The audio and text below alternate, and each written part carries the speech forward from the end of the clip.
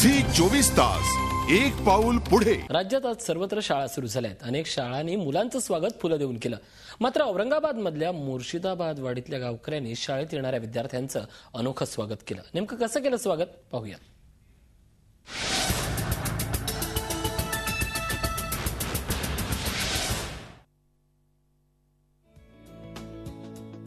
गावात घराघरांसमोर काढलेली आकर्षक रांगोळी सजवलेलं गाव सजवलेल्या बैलगाडीत बसून जाणारी लहान मुलं.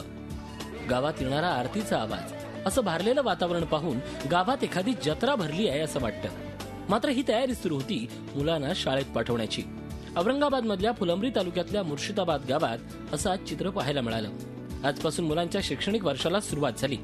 शाळेचा पहिला दिवस मुलांसाठी अविस्मरणीय ठरावा म्हणून गावकऱ्यांनी हा अनोखा उपक्रम राबवलाय. ग्रामस्थांनी मुलांचं शाळेत जाताना विधिवत औक्षण करून आरती केली. त्यानंतर सर्व विद्यार्थ्यांना उंट घोडे आणि बैलगाड्यांवर बसवून शाळेत नेलं.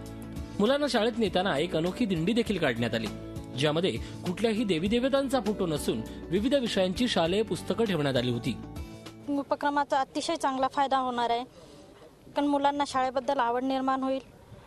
त्यांच्या मनातील शाळेची जी भीती आहे शिक्षकांबद्दल जी भीती आहे ती निघून जाईल. पुढं भविष्यामध्ये ब आपल्यासारखं शेतकरी न होता डॉक्टर इंजिनियर व्हावं.